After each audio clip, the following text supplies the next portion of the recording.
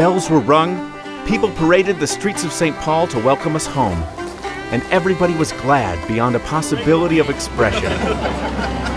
we then marched to the upper landing and again boarded the steamboat and started for Fort Snelling.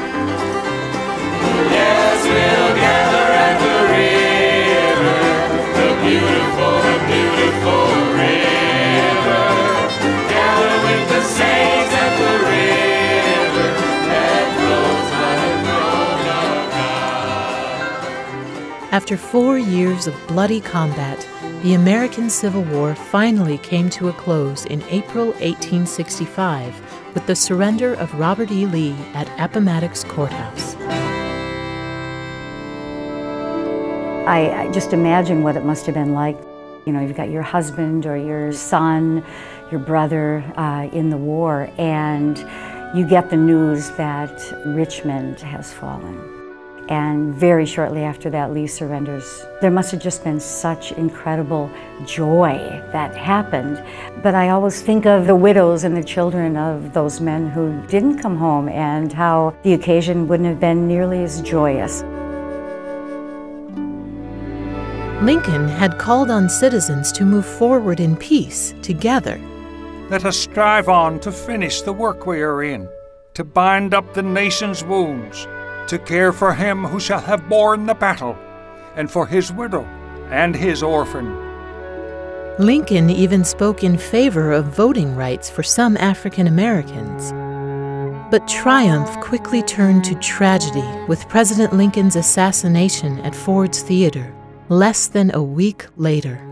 I think it would be safe to say he was at the top of his popularity when he was assassinated. And the grief that people felt at that point in time, such highs and lows that happened within just a few short weeks. The nation mourned, and the Union Army marched one last time in a grand review through the Capitol. I think the Grand Review must have really raised spirits a lot. I think it was a very wise move to have done such a, a, a, big event to celebrate the end of the war. I would have liked to have seen the entourage that followed behind the Army, the medical workers, and particularly all of the freed slaves who were following behind.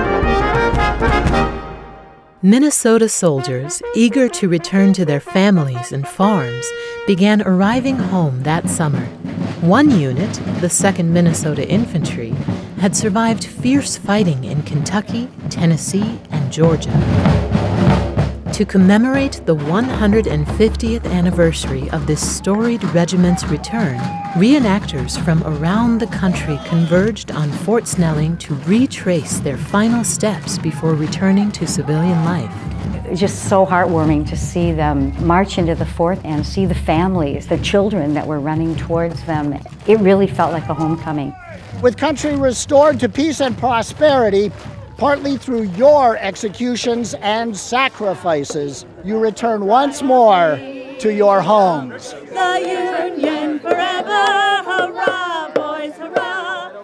It brought in people from all over the state, the nation, the world. There were young people who came dressed in uniforms, dressed in their ladies' gowns. It's not only a great way to get people interested in history, but it's also a great way to try and get a feel, even in a really ephemeral way, what perhaps they went through in, in just the smallest details of their lives. It's very important to know the history of our soldiers and how they fought so hard to where we're at and the freedom that we got today is very important for our children to know. The Civil War era was such an important part for our country to reestablish its belief in freedom and liberty and to become united as a nation again. And we wanted to come and see what was going on with the Civil War here at Fort Snelling in our home state. Soldiers received their final wages, paid their respects, and went home to a state and nation forever changed.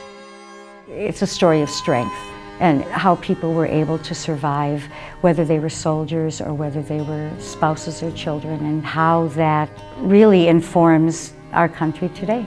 It's something good to remember. William Bircher was the drummer boy for the 2nd Minnesota. He kept an extensive diary throughout the war and the regiment's last days at Fort Snelling. Goodbye, boys, goodbye. God bless you, old fellow, was shouted again and again, as by companies or in squads we were off for our different homes. Some of us bound north, some east, some west, but thank God, all bound for home, sweet home.